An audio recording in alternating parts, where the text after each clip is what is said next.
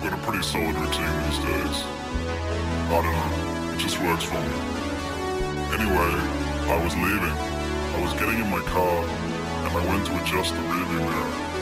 But in its reflection, just for a second, I saw a figure. Started to trigger.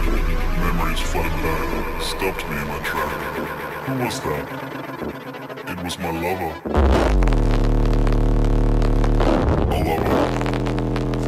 A past. Was that supposed to scare me?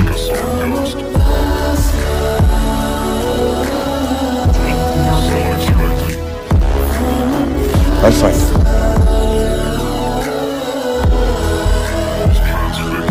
I am not leaving you. I am not.